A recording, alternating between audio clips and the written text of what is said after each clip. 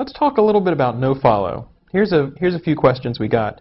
Vince Samios from the UK asks, do you feel that all the widespread and blanket use of nofollow tags is devaluing uh, Google search algorithms? So let me just interject before I finish the question. Even though SEOs may feel like nofollow is everywhere on the web, if you look at the percentage of links that have nofollow, it's actually a pretty minuscule percentage. Um, so nofollows aren't that common on the web compared to how the perception of them might be. So let me finish the question now. Uh, examples such as Wikipedia, where all external links are nofollow. Does Wikipedia mean, mean nothing to Google's algorithms? And then Jonathan from Brighton, UK asks, do Google take into account quality factors from no-followed links when the links come from well-established authority sites such as Wikipedia? Uh, so we're not trusting, we're not taking into account the links from Wikipedia because they are no-followed. So if you don't bother to go spamming Wikipedia, it's not going to make any difference in search engine rankings uh, if you get a link because that will be no-followed.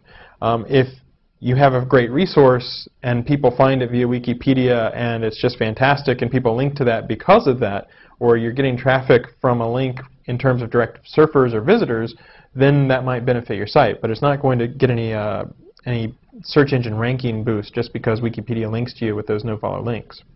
Now let me take a one slight detour and mention that if a particular site does have trust in the person who's making a link, then there's plenty of good reasons to make that link flow PageRank and take the no-follow off.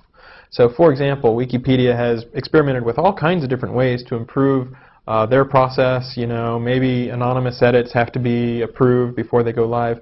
So you could certainly imagine a scenario in which a Wikipedia editor who was very trusted, who had made a ton of edits without them ever being reverted, you know, that other editors vouched for, however they wanted to define trust, uh, those links might, for example, take the no-follow off. So a very simple thing when you're being under attack from spammers is to add that no-follow tag, and then it doesn't benefit the spammers anymore. But if you run a blog or a forum or Wikipedia or whatever, and you can come up with a good metric to say, okay, these are links that we do trust, that we do think are editorially given and are valuable for users, uh, then there's plenty of good reasons to go ahead and say, okay, make those links flow PageRank. But in general, no-follow links are a relatively small percentage of the web, and, uh, and it does prevent a lot of sites from getting spammed. Uh, we don't use those links from Wikipedia currently, but if Wikipedia wanted to put a more nuanced policy in place, I would definitely support that.